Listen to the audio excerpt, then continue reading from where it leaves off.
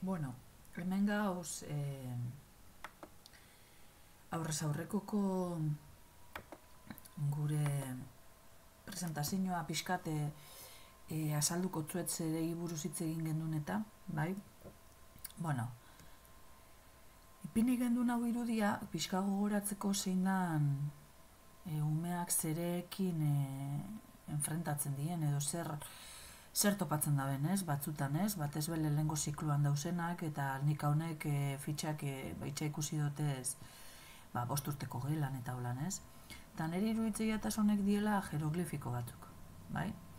Hemen agertzen diez platanuek, irua ez dator bat honekin, gehi ikurra hemen behian dago, hau da, hemen nahazten dia, gero ikusiko ditugun Brunnerren iru pausuak, bai?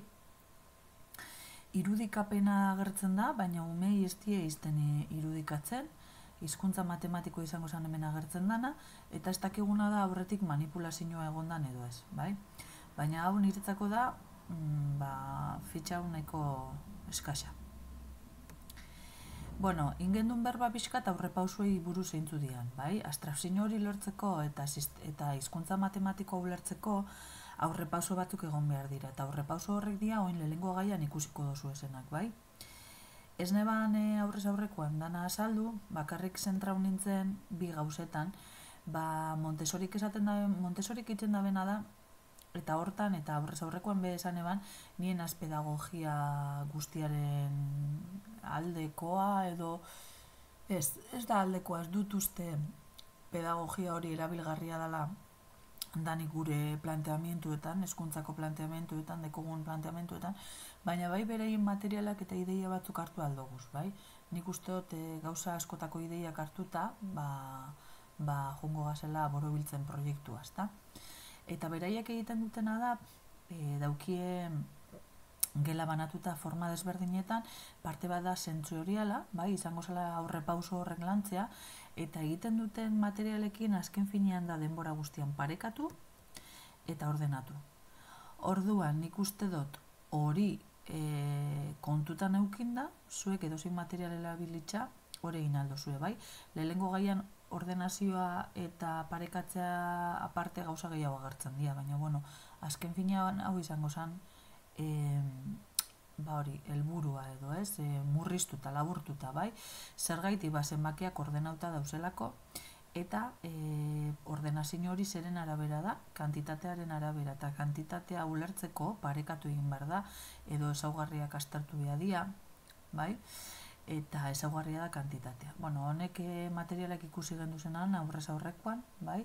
E, Montesorinak dia, kaja azul, amarilla, berde, roja deitzen dutze, da ikusten duzuen moduan, ba, hemen doa diametroa mantentzen da eta altuera aldatzen da. Hemen altuera eta diametro aldatzen doiez, hemen baitxa, baina alderantziz, hau da, diametro ondixena, altuera txikixena, eta hemen altuera mantendu eta diametroak aldatu. Bale, e, guztio hau, e, nun oinarritzen da, hau da, Montesori baita be, bai, piaiete niru ezagera desberdinak tan oinarritzen da, baitxabe e, piaietek esaten zaben moduen, e, umea jakin behar dugu ze momentutan dauen eta hori aprobetsatu eta horren inguruan e, sortu gure ekintzak, ezta? Hor da, bueno, sin más, e, ezaguera bat, osea, konozimiento bat eguteko edo gauza bat ikasteko, piaietek esaten dago hiru ezaguera desberdin e, dauzela, ezaguera fizikoa, ezaguera logiko matematikoa eta ezaguera soziala. Ez da ematen bat bestean gabe hau da, guk ezin duguz matematikak, em, hau nundik atarata dago. Hau dago, e, komentatuko dutzuet bestela, Constance Camilen liburu, liburu batetik atarata dago, piaiet niretako oso sendoa da ikasteko, eta orduan, bueno, eta ulertzeko, eta orduan, ba, bueno, Constance Camilen, El niño realmente la aritmética, badakizue dagoela el niño realmente la aritmética 1, 2, 3, 4, 5, ez dakit nola arte dauzen, nik hasierakoak dauzkat, eta bueno, ba, hortik hartuta dago, eh? eta bebai dago de preeskolar eta hau da horkoa. Eta bueno, ba, berak esaten da da, matematikak lantzeko, ba, jolasen bidez landu behar dela, eta hainbat jolas e, asaltzen ditu, eta bueno, gauzia da matematikak ezin direla e, bakarrik forma baten azaldu. Ezagera soziala izango litzateke haos transmititzen dien gauzak, ezta? Hor da, matematikak ezin dire sozialki ikasi. Ezagera fiziko izango zen elementu bat hartzea eta bere ezaugarriak aztertzea, bai? Eta ezaugarra logiko matematiko izango da, ezaugarri horien arteko mm, diferentzia moduan egitea, bai? Taldeak egitea. Hau da, hemen adibide badago. A ver, mm, al igual que el conocimiento físico, el conocimiento social es un conocimiento de contenidos y exige un marco lógico matemático para su asimilación y organización. Igual que el niño necesita un marco lógico matemático para reconocer un pez rojo como tal, conocimiento físico, necesita el mismo marco lógico matemático para reconocer una palabra fea como tal, conocimiento social. Para reconocer una palabra fea, el niño necesita realizar una dicotomía entre palabras feas y palabras que no lo son. Bai? Dicotomía hori da logika matematiko esango zana, bai? Gero, sozialki ikasi duguna da zeintu dian las palabras taldeak egiten, las palabras feas y las palabras que no son feas, bai? Entre palabras y cualquier otra cosa. El niño utiliza el mismo marco lógico-matemático para construir tanto el conocimiento físico como el conocimiento social. ¿vale? Bueno, sin más, apunte bat, bai? Liburua oso ondo dago eta gogoratzen banaiz e, ipiniko dute foroan. Komenta gendun baita be, ba, e, ikastaroan zer ikusiko duguna da Brunnerren teoria, eta Brunnerren teoriak esaten da bena da, e, edozen ezaugera hiru formatara ikasi behar dela, bai? Gure kasuan simbolikoa hizkuntza matematikoa izango da, baina beste gauza bat ikastera bagoiez, ba, ba simbolikoa izango zen bere hizkuntza, bai? Ekintza egitea edo manipulatzea, irudikatzea eta hizkuntza matematikoa egitea. Bale, hemen ingo dute apuntetxo bat, ze ez dakit dakizuen, e, igual bai, oin oso modan dau metodo Singapur modan dau zer gaiti, ba, Singapurren egin zutelako indala urteak e, e, zela da, e, izkuntzan egin zeben e, bueno, apostu bat, matematiken inguruan, eta izan zen metodo Singapur sortu zuten entre komillas, baina hori da Brunnerren hiru pausuak diez, azken finean, bai?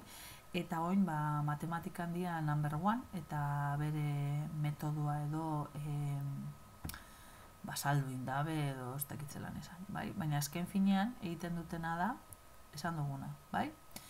E, e ez dakite topauko dugun, que metodo Singapur, bueno, ba, egiten dutena da hori, aktiba, hemen, a ber, e, visualización, bueno, bai, ipiniko dutzue beraiek nahi dabe moduan, baina Brunner egiten dabe, bai? Azken finean egiten dabe Brunner. Vale, e, ikusten duzu hemen irudiak agertzen dira, dauzkie material manipulatiboak, erabiltzen da bezregletak bebai, eta ez doten atopetan da, a ber, irudiren bat edo, ze bideo bat ez noia ipintzen, baina, a ber, behitu adibidez. Suma simple hasta mil, bueno, sin más. Ikusten duzuen moduan algoritmo tradizionala erabiltzen dabe, baina manipulazioa ipintzen dutze eta irudikapena egiten dabe. Bai, azkenian brunnerrak esaten dabena. Bai? Vale e, bueno, ba, hoxe, ze gaixago esan gotzuet, esan gendun e, gero bebai agertuko dala askotan, e, ba, Maria Antonia Canals, bai? A ver.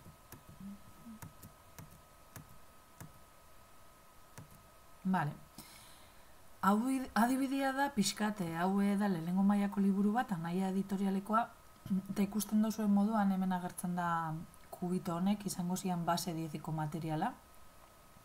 Hori be ikusi gendun. Izen dalen e, Singapur metodoan e, agertu dien irudiak. Eta ez totxielaga ez irudia egiten, zeia irudia manda dago, eta hizkuntza matematikoa be emunda dago. Bai, emaitza ipinibia da, baina gomendagarria. Bueno, hemen adibidez, ja, umeak hizkuntza matematiko ipinibi dau, bai? Baina irudia e, emunda dator, eurak sortu beharrian, Eta ez dakidena da, aurretik manipulazioa egondan edo ez. Honekin lotuta pixkatitzen genduen e, irudiei buruz, eta izen zen, ba, e, niri e, esan sosten, e, bueno, egon nintzen ikastaro bat egiten neuropsikologo batekin, eta arekin soskuen proba bat, ari nalin esplikauko zuet, ze hori probia genduen. testu bat irakurri zoeban, ipuin batena eta gu bitxartean imaginatzen junginen pertsona hori, bai? Deskribapen bat zan. Da bukaeran esan zeban.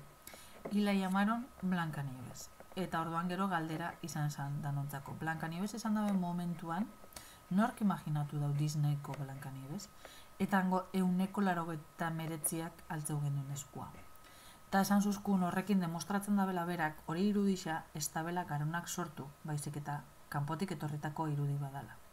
Gaur egun gomeak dauz bombarde hauta irudi. Eta ez dauz oitute irudiak sortzera. Eta orduan e, astrasinora, lortzeko bidia irudia da. Eta baitxabe ularmena lantzeko. Bai? Orduan, bueno, horri buruz hitz egin gendun apur bat. Hemen agertzen da Maria Antonia Canals eta ikusi duzuen moduan lehengo gaiko esperimentua buruz hitz egin gendun.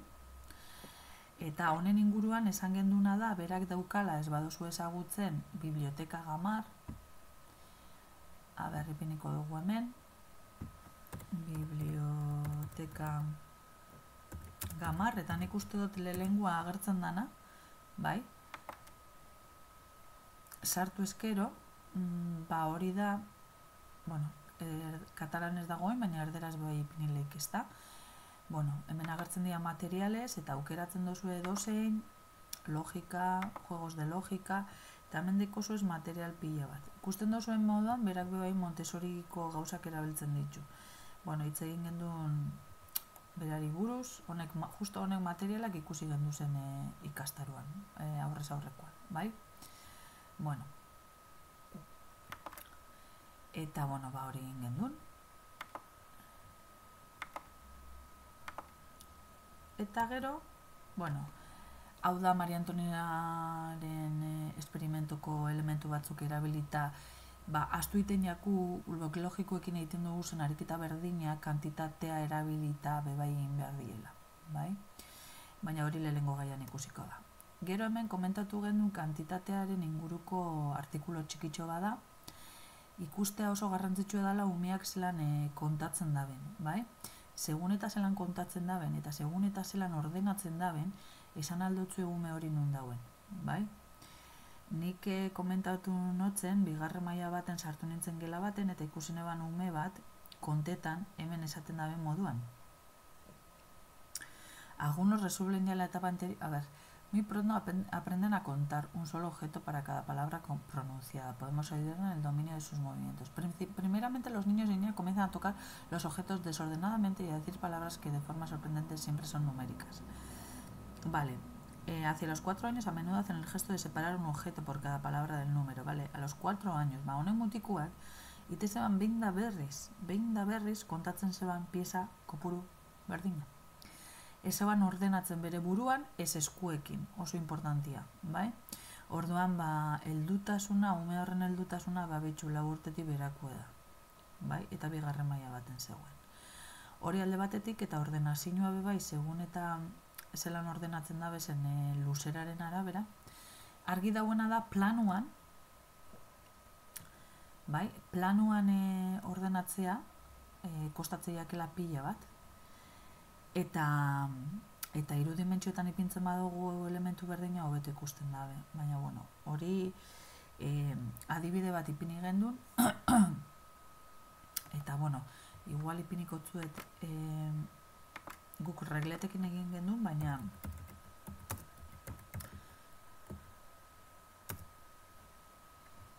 a ber, barkatu, eh? Mm, barras rojas. Bueno, Montessori pini beneba, baina bueno, igual da. Honek eh, barrak, bueno, azkenian inalda berdina e, regletekin ez da, ulan ordenatzia planoan esan leike batzuri kostaiten jake zuk emuten dutzazu hau, eta berak igual iten dutu ebu, edo zein modutara ordenatzen dabe. Bai? Baina, kapasadi esateko zein dan txikixena eta zein dan handixena. Bai? Baina, holan ipintzen badoguz, zanginki iru dimentsiotan, asko sobetu ikusten dabe. Bai? Horregatik gure planteamientua, e, geometria lantzeko bebai, gorputz e, geometrikoetatik hastia da, eta ez irudi lauetatik. Bai? hori be komentau gendun eta komentau zuzkun partaide batek bera arostegian dauela eta ba, han beti hasten diela hiru dimentsiotako gorputzetekin lanean, bai? Inoiz ez diz hasten e, irudi lauekin. Eta gu ba, ohituta daur gauz beti irudi lauekin hasteko hau da e, triangelua, laukia eta olakoekin, bai? Vale. Hemen zenbakien deskonposaketaren inguruan eta ez gendun gauzan dirik esan, ez oskulako denborarik emun ja, baina bueno, hemen ikusiko dozu hau materiala agertuko dela, e, zelan da, ikastaroan zehar bai, eta gero komentau gendun, ba, deskomposaketaren aldekoa naizela, eta naiz eta algoritmo tradizionalak ikusi manipulatiboak izela landu, baita ere agertuko da element, e, material asko, oa oakoa, ba, niri asko gustatzen jatalako eta ikusten dute, uste dutelako kalkulo mentala dela benetan e, landu beharrekoa eskoletan. Algoritmoa buruz hitz egin gendun apurtxo bat, ba hori, baina oso gainetik tradizionala eta ez tradizionala inguruan, eta gero ba geometria esan gendun hori, ba movimentuarekin hasi da, hemen ikusten da moduan, ze ondo pasau gendun hemen, lerro zuzenekin eta kurbatuekin eta, bai, eta, bueno, nik uste paraleleuki landu aldi esela bi gauzak, gorputz irudimentsiotako gorputzak eta lerroak eta eta kurbak eta hori dana, bai? Eta bueno, ba hau izan zan dana.